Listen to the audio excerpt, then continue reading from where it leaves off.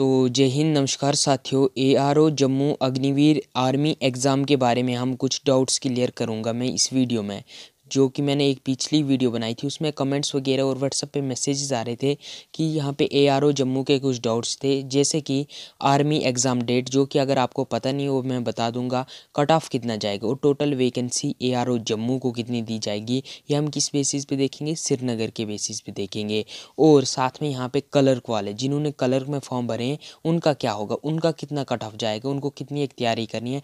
Tradesman वालों के लिए भी यहाँ पे हम बातचीत करेंगे। टोटल नंबर ऑफ़ वैकेंसी और नई वैकेंसी कब आएगी जम्मू एंड कश्मीर के लिए? ये सब कुछ मैं आपको इस वीडियो में बताऊँगा तो वीडियो को एंड तक ज़रूर देखना। और अगर चैनल पर फ़र्स्ट टाइम विज़िट करो चैनल को भी आप सब्सक्राइब कर सकते हो।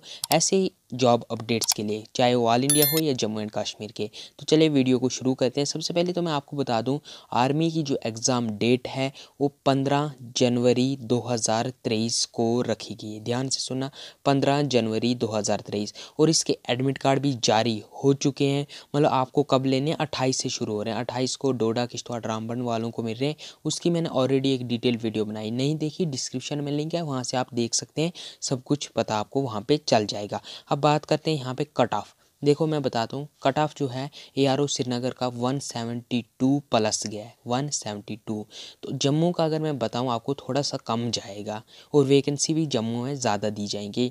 थोड़ी सी ज़्यादा और थोड़ा सा कम कट ऑफ़ यहाँ पे आप मान के चल सकते हैं मिनिमम 160 और यहाँ पे मैक्सिमम 180 तक जा सकता है। इतना आपको तैयारी करना अब जो इनको ग्राउंड के जैसे किसी को साठ, सत्तर ही नंबर हैं सत्तर नंबर मान के चलो किसी को ग्राउंड के तो वो क्या करेगा? उनको मतलब बहुत ही ज़्यादा तैयारी करनी पड़ेगी सौ बाई सौ भी लाने का आपको सोचना है, क्योंकि रिटर्न बहुत ही ज़्यादा टफ लिया जा रहा है और वैकेंसी ऊपर से बहुत कम दी जा रही है। अब बात करते हैं हम वैकेंसी देखिए कट ऑफ़ का तो मैंने बता दी एक सिक्सटी वन सिक्सटी मिनिमम मान सकते हो, पर तैयारी आपको करनी है एक सौ अस्सी टारगेट करना है।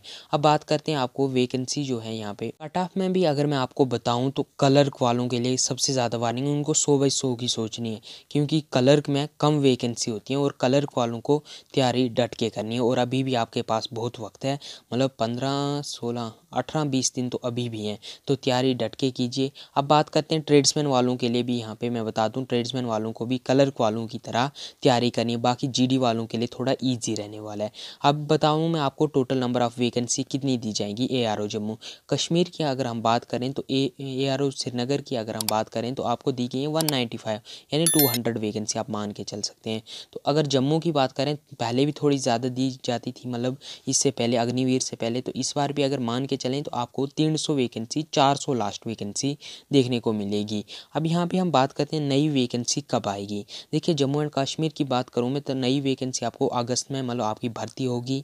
नई वैकेंसी जो आएगी और बाकी अगर हम बाकी स्टेट्स की भी बात करें तो अप्रैल से शुरू हो जाएँगे और नोटिफिकेशन आपको मार्च एंडिंग में आ जाएगा। ईजिली आपको मार्च एंडिंग में आपके फॉर्म लगने, अप्रैल में आपके फॉर्म लगने शुरू हो जाएँगे। तो यही थे कुछ आपके जो डाउट्स आपने पूछे थे, वो मैंने क्लियर किए। अगर फिर भी आपको कोई डाउट रहता तो आप कमेंट कर सकते हो। मैं उस पर आपको डिटेल वीडियो बना के आपका डाउट क्लियर करूँगा या व्हाट्सअप पे मैसेज कर देना डिस्क्रिप्शन में। तो आप ज़रूर ज्वाइन करें और अगर आपको वीडियो अच्छी लगी है तो अपने दोस्तों के साथ शेयर करना। ये बिल्कुल फैक्ट्स बताए। मैं इनको कोई बुरा मान जाएगा कि कम वैकेंसी है, ज़्यादा कट ऑफ़ क्यों जा रहा है, मैं कुछ नहीं बोल सो थैंक्स फॉर वॉचिंग